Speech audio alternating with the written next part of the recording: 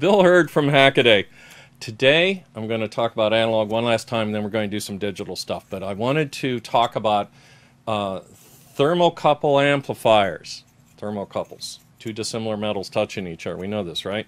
Uh, last time we were talking about instrumentation amps, and I mentioned strain gauges, and you won't have a lot of chance to use that maybe, depending on what business you're in, what your hobbies are in. You probably won't be hooking it to an Arduino anytime soon to measure the strain of a bridge or something, or a scale. You can make a scale.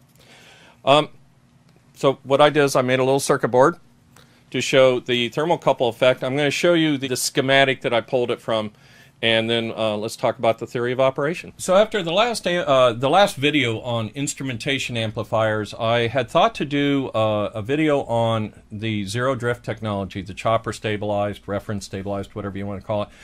Um, and I think I'm going to hold off on that a little bit. I'm actually going to get some uh, information from the vendors themselves, and uh, maybe I can approach that and speak to it more intelligently.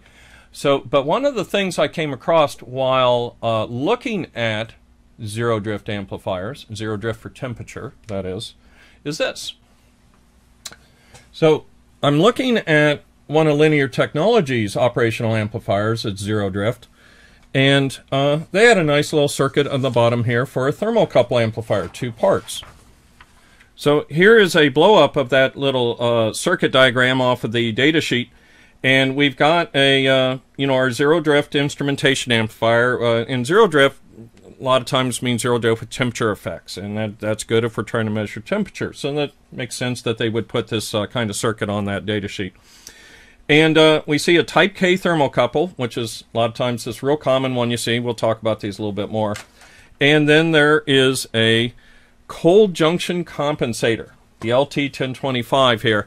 And so if we look at the circuit I made, there's two chips, and here's our amplifier. Here's this cold temperature, uh, uh, cold junction compensator. Let me talk about that some more. Now, a, a problem with just hooking up something like this to an amplifier would still be one of calibration. Um, and if you were to take something like this and stick it in ice water and then zero out your uh, scale, then you, you would have a you would know the change in temperature from zero degrees. Well, the uh, thermocouple cold junction amplifier thing we're talking about, what that does is uh, do that. It does that calibration for us, uh, uh, and it uh, first gives us an output based on the type of thermocouple we're using. We're using type K, which is real common. Again, two and a half dollars, um, which changes its voltage 40.6 microvolts per degree C. There's a slight range in there, but that's what they're showing. There's also some nonlinearity, uh, uh, kind of a kind of probably a sag in the voltage, so they make up for it. And what this really is is a second thermometer. Here's one thermometer, the the thermocouple itself, and then here's a reference thermometer. Think of it that way. When it's pre-shaping.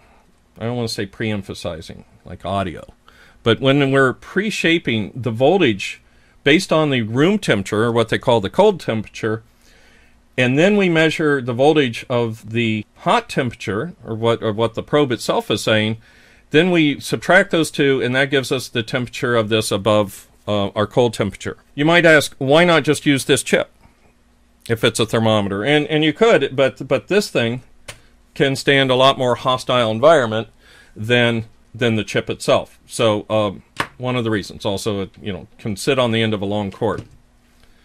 So the output of this, in addition to knowing where zero volts is, or zero, I'm sorry, zero, a reference temperature is um, in general, so the output makes sense to us on a voltmeter, for example.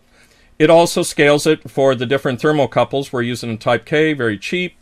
Uh, very common, 40 microvolts per degree C. So for every uh, degree C the thermocouple sees, the voltage will change this much. Different thermocouples, different amounts, and then this actually has a reference output of 10 millivolts per degree C. So you could just create uh, your own circuit based on uh, on a nice, easy to use decimal number.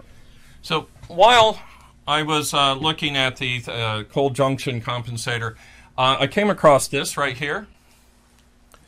And this is a, a uh, matched, it's, it's a kit of a matched junction compensator and a matched amplifier.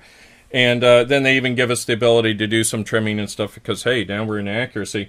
Uh, but this is essentially uh, the chipset I used to do this little design I'm going to show you here. So here's the little circuit board as built. And what I did was I brought out the different taps for the different kind of thermocouples. So we are a K type, as, as I mentioned earlier. That's it's a very common type, very cheap. Um, but if you remember on the data sheet, we had these taps for these different ones, and, and so I just went ahead and brought them out. Also, I brought out a ground and some other things. And this is telling us that it's 18 degrees C uh, here in the lab, which is about 65 degrees, and, and that's close. Uh, it's, it's off by a few degrees, uh, mostly because I didn't have the exact um, two, 1% resistor in stock, and I wasn't going to build an adjuster into this um, for, for just this little demonstration here today. So, uh, nice so you, you could take this and now feed this into uh, the AD converter on your favorite um, microcontroller, and you've got yourself a thermocouple amplifier that'll read out in millivolts uh, per degree C. Now I'm going to show you a trick from the old days um, that's still still valuable if you need to use it, which is that a regular old silicon diode, 1N914 diode, has a temperature coefficient of 4 millivolts per degree C. So if you figure that you had an amplifier up here and you, you needed 8 millivolts per degree C or 2 millivolts, you would calculate the resistor that gets fed into it and uh, uh, create your own and polarity. You would you would change the polarity on, on which way this is going to create your uh, uh your own temperature coefficient based voltage that would correct for the temperature of the circuit. We used to do this in our digital scales. In the last video, I did stick the scope probe on the output of the instrumentation amp, uh, running more gain than was here, but you you know, with that said, there was no filtering either, so you did see a lot of uh, you know some some of the noise getting in that you would expect, and again laying on the bench. So here we did have two poles of filtering going on, and uh, you don't see the high frequency artifacts that we saw before, but you do see some low frequency stuff. You see the 60 hertz that's all around us. And in this case, the thermocouple itself is unshielded. It's a pair of wires, a couple feet, you know, long, twisted at the ends, laying on the workbench. So, uh, and actually, if I were to touch the very tip of the probe, uh, you'd see the 60 hertz jump up much like you do when you touch a scope probe. So if we had to, we could shield it and we could go in with a 2 hertz pole filter, or, I mean, I'm sorry, a 2 hertz filter, and uh, we could go after this if we really wanted to. So this video was a bit of a quickie, but I did want to show you a, a, a, quick use of an instrumentation amplifier and make you aware of the cold junction compensator and the fact that you needed a cold junction compensate. Uh, and, but again, I, I, think it was just a, a nice little add-on use, and it actually showed a, a time when uh, having an amplifier that didn't respond to temperature was useful when measuring temperatures. So uh, I might read this board, throw it up on uh, uh, or leave it, leave it as open source through OSH Park or something like that. Uh, a cute little way to take a pair of dissimilar metals and be able to measure it with an Arduino.